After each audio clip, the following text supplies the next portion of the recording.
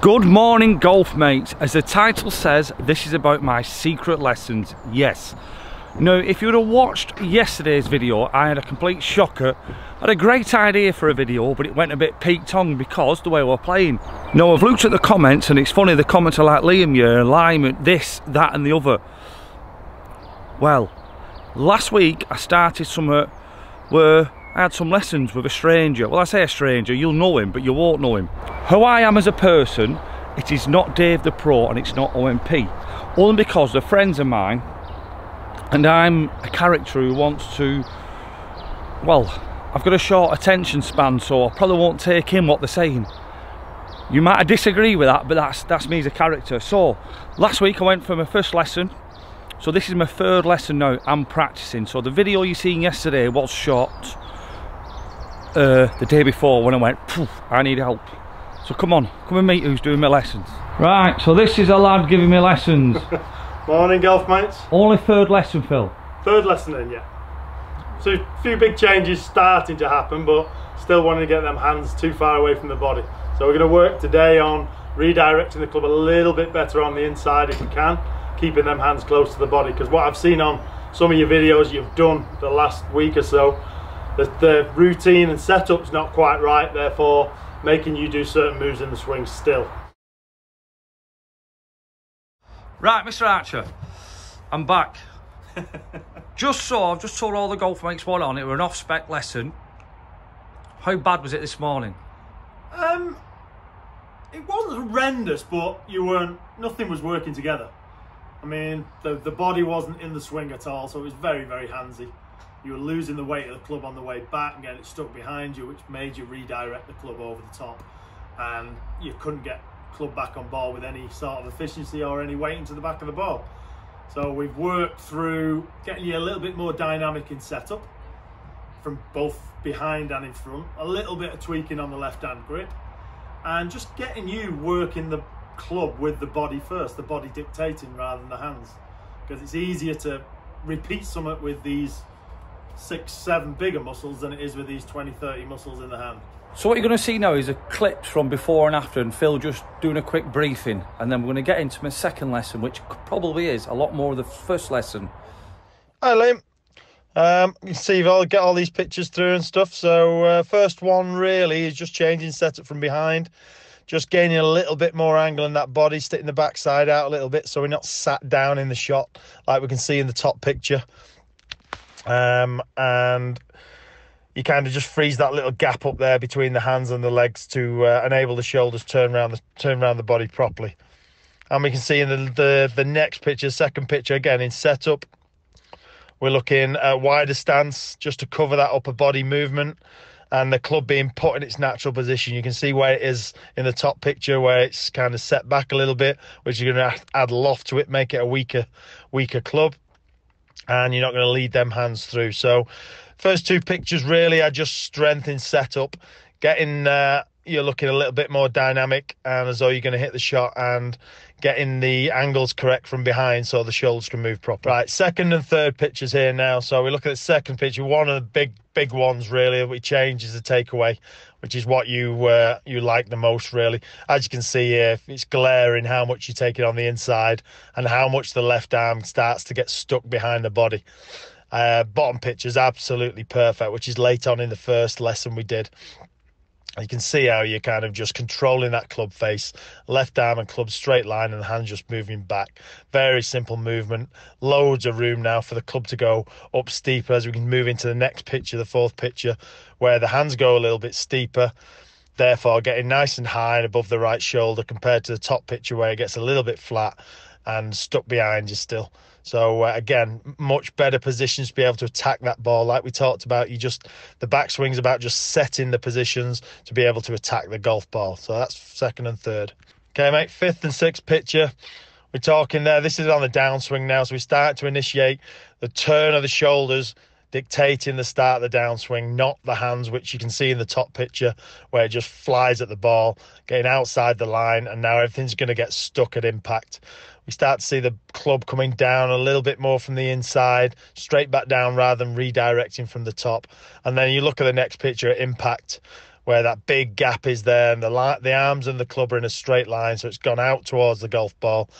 The bottom picture is the exaggeration move that we talked about, the Jimenez, the Alex Noren move, where the body starts turning, the club exits to the left, and then you can go into the just the the kind of follow through position. The next picture, where the hands in the top picture are going away from the body, whereas the hands go around the body and the club stays in front.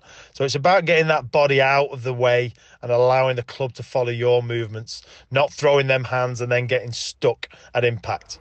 Right, so what we're talking about on the way back, see, I relate a lot to tennis. Okay, so if you're kind of in a position, you see a tennis player, that's the golf swing on the way back is there, yeah? Yeah. And there's a tennis player. Okay? But you don't see a tennis player going, No, you don't. you don't, It's they're so just icy. basically like that, wound up, and then there's all the power. Yeah. So this is all the wind up, and there's the power. Yeah. But if we're not in control on the way back, then we have to make adjustments on the way through to get back to that ball. That's your feeling of nice and slow. It's just you're winding up.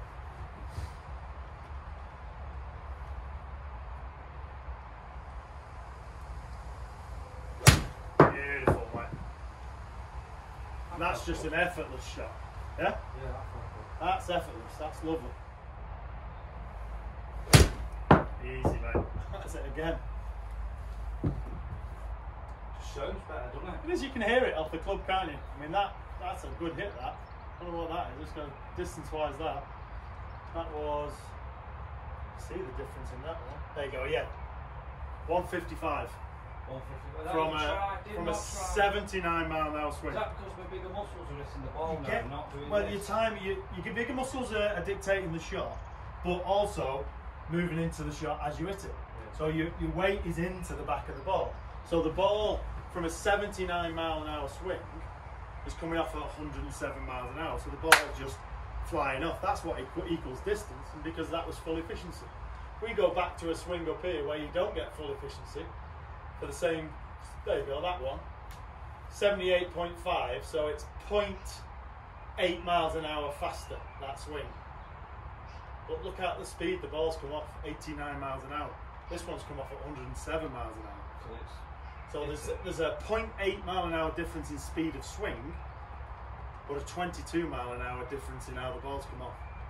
Yeah. Okay, so that's the kind of difference in getting everything into the back of it, and that's why the ball fires off. You can swing as fast as you want, but if you don't get any body into it, it's only going to go as fast as you swing it. Yeah. Yeah. So that's that for me is probably one of your best swings you've just done. Yeah, I agree. Yeah. So now just with the sound, you kind of know. Yeah. Yeah. yeah Of course, it it just fires off. That's it. One. There you go.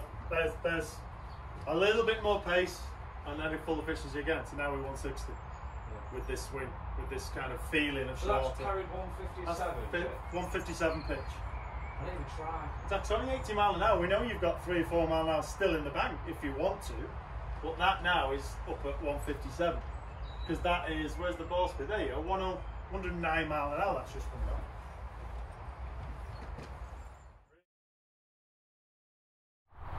Right, so this is a lad giving me lessons. Morning, golf mates. Only third lesson, Phil. Third lesson in, yeah. So a few big changes starting to happen, but still wanting to get them hands too far away from the body. So we're going to work today on redirecting the club a little bit better on the inside if we can, keeping them hands close to the body. Because what I've seen on some of your videos you've done the last week or so, the, the routine and setup's not quite right, therefore making you do certain moves in the swing still. So what he's saying really is uh, I need to chill out before I take my shot and go for a routine. Yeah. Massively. Right, I'm going, going to show you a small clippet to this because obviously it's a, it's a surprise for you as well as for me having lessons and I'm keeping it hush but after last night's video I thought I'd better come out with it. Right Phil, what have we just noticed? Well, it, it was inching back in the stance, your setup each time, the, the ball position. Um, so, did a video from the front there and then just showing you how far back in the stance. Sometimes it can, people kind of think it's in the middle of the stance, but it's not, it's quite a bit in the back of the stance. So, I've just told you to push it forward to the middle of the stance where seven iron should be played from. I always like sand iron to seven iron, staying in the middle, and then we slightly progress forward from six iron. And then you tell me, oh, that's where I've been playing it from. I've been, sticking practicing it back that. in the stance. 2,000 balls easy. 2,000 balls, trying to get the ball position back in his stance for some reason.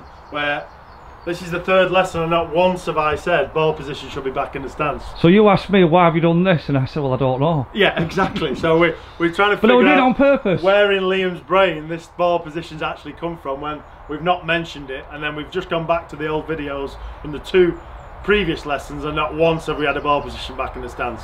So from here to the practice ground, you've transferred a ball position to the back of the. Oh yeah, I've been doing it on purpose. Let's see what this lesson takes us now with the right ball position. All right, right. Well, today's lesson really good. Probably best session we've done. But we've worked on the body moving in the right way, which it's starting to do. But still, the hands and arms we wanted to get disconnected on the way down. So today we've had the stick there, alignment stick, really kind of getting you concentrating on trying to redirect it underneath, which you got, you still got nowhere near yet. But the club now, rather than it moving we were whizzing it back here so the hands were in that position and then on the way down they were here. They're now getting more here and just there. So it's very slight redirection on the outside. And we started to see some proper golf shots even from delivering club pass from the inside today which is great not across the golf ball. And we're getting closer and closer into that impact position we want to see rather than the legs straightening up and the hands and arms in a straight position. We're starting to see some angle now in the arms and the club and the body starting to get out of the way. And you actually hit some proper drives today. Proper draw shots today which was great. Few of these scuff ones again but getting rarer which is great. And so we, your practice today is going to be alignment stick if possible where you're practicing ball position in the middle. Central. and not push back and then just really concentrating on that getting that body out of the way and working on that first move from the top okay Cheers, pal. spot on mate So there's the big secret. My third lesson. Right. I cannot believe I am numb as a piss stone. I have been practicing with the ball back of my stance. I don't know why I did that. I have, uh, I've no idea. I'm just an idiot. But watch this. I have put some practice in.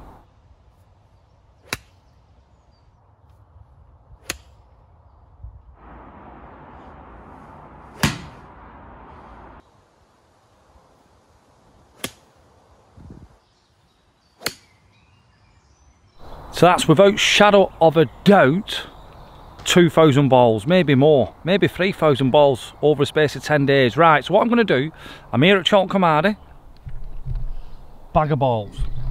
Going to do some practice here, going to edit this video, then do some more practice on my way home.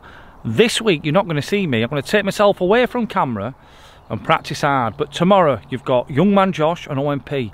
I've got the day with them. Now, you ready? I'm going to do a little matches with each other, but also do like a little team match with them. See how low they can go with the best ball, you know, the best driver, the best tee shot. That should be fun. Also, I'm going to try and get Mr. Barlow on at night, maybe at Dunscar or something like that. So that should be fun. We'll get a catch up with Mr. Barlow. It needed. We need a bit of Mr. Barlow, don't we? Right, I'll show you my practices. Anyway, like I said, the reason I'm not gone to OMP or Dave, I'm paying Phil. If here's Phil's details, he's at Poulton Park. I am paying him because I want to concentrate. With Dave, people coming in the shop and he's my mate. I just, I want full concentration, get myself going again.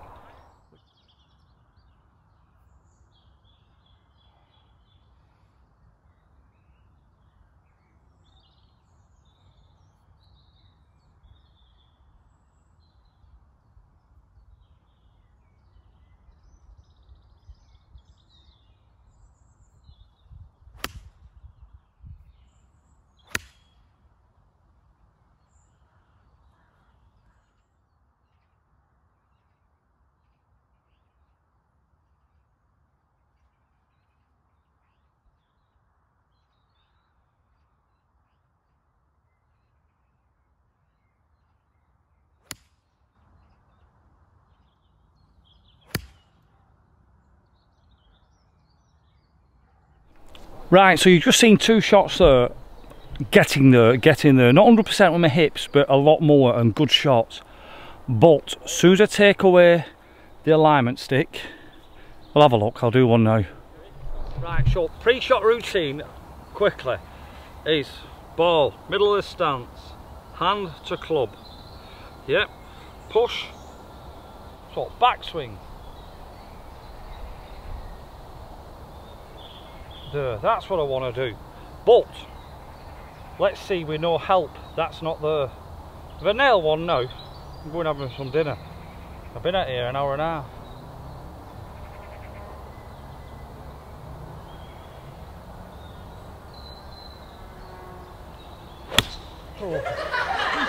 There you go, I am 10 days into my lessons and training. So like I said, you're not going to see me this week. I'm going to have my head down. But like I said, I'm going to do a lot of filming. So thanks for understanding.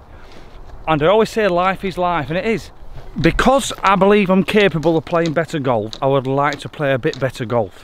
Is it the end of the world? No. But I would just like to. If that makes sense. Anyway, wish me luck.